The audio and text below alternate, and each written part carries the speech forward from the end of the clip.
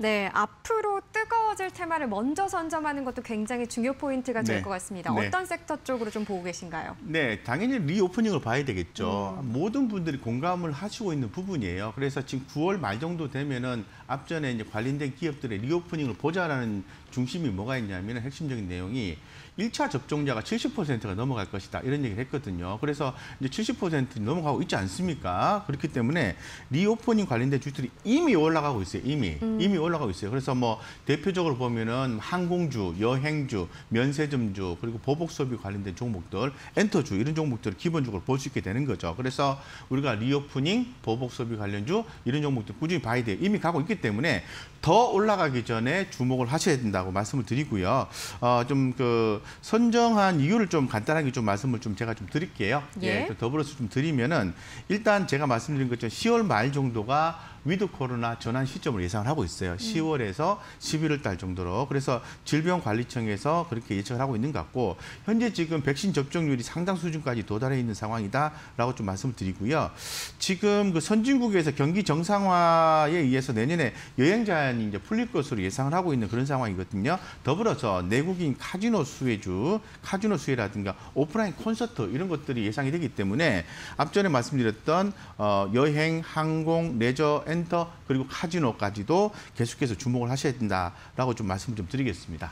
네, 항공 쪽 그리고 reopening 쪽까지도 같이 짚어주셨는데 네네. 지금 현재 흐름들을 좀 살펴보면 좋을 것 같아요. 오늘 장에서 항공주들 흐름도 나쁘지 않거든요. 네네. 다른 종목들은 어떤가요? 대표적인 거 한번 볼게요. 그래서 이제 음. 항공주 하면은 종목이 많이 있습니다만 제가 차트를 열어놨는데요. 예. 역시 중기적 개념에서 흐름만 한번 느낌만 잡아가시죠. 대한항공을 우선적으로 보셔야 되겠죠. 흐름이 음. 어떠신가요? 어, 느낌 좋다 이런 느낌 드시죠, 그죠? 예, 대한항공 됐고 자 간다 이렇게 보시면 되고요. 그 밖에 다른 항공주 함께 보시면 되겠습니다. 그 다음에 카지노주 하면은 강원랜드를 보시면 돼요. 강원랜드. 이 강원랜드도 흐름이 바닥권에서 서서히 올라와주고 있다. 강원랜드는 돈이 많은 회사예요. 자, 그 다음에 여행주 하면 대표적인 종목은 하나 투어를 보셔야 돼요. 하나 투어 대표성을 보시는 거죠. 하나 투어 이렇게 보시면 되겠습니다. 그리고 또 어, 지금 뭐 엔터주 같은 경우에는 뭐 하이브 예 하이브 한번 볼게요.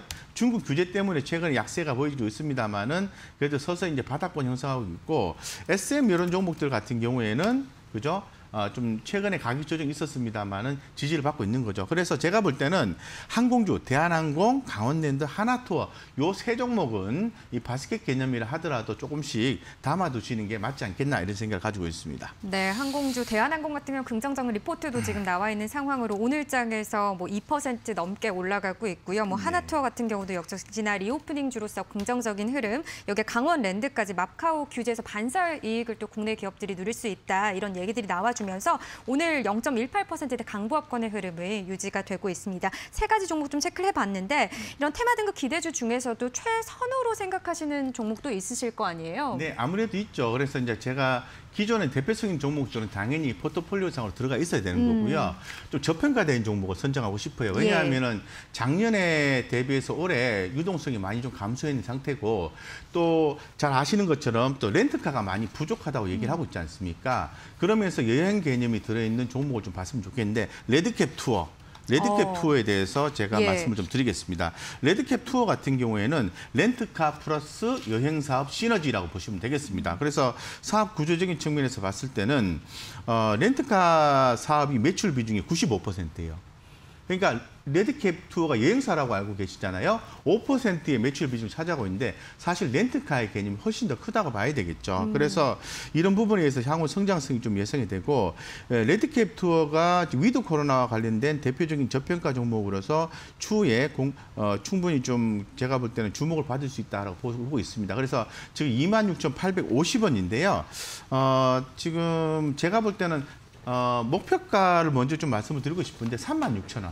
중장기로 봤을 때 36,000원 보셔도 크게 무리수가 없다고 좀 생각하고 있고 하단은 좀 제한시키겠습니다.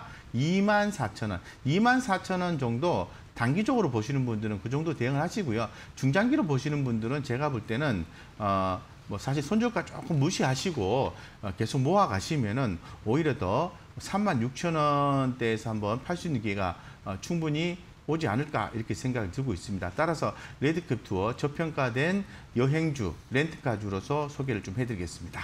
네, 저평가된 여행주로서 지금 레드캡 투어를 보고 계신데 지금 현재 시점에서 보면 오늘은 약간 혼조세를 보여주고 있습니다. 장 초반에 상승으로 출발을 했는데 하락으로 좀 반납을 한 그런 상황들이거든요. 그러니까 V자 반등은 짧게 봤을 때 나와준 것 같은데 네. 단기적인 시점은 한 어느 정도 기간을 볼 수 있을까요? 물론 예측할 수는 단기적으로 볼 없지만요. 때는 제가 볼 때는 예. 지금 상황이라면요 6개월 이내에 가능할 것 같아요. 음. 왜냐하면은 with 코로나 하면은 대표적 여행주 그리고 렌트카, 카지노 이런 거잖아요. 예. 그래서 10월 달 넘어가고 with 코로나가 본격적으로 나오면은 그런 종목들 수급이 쫙 모일 수밖에 없기 때문에 어, 당연히 뭐 레드캡 투어라든가 하나 투어 올라가면 레드캡 투어 올라 올라가겠죠.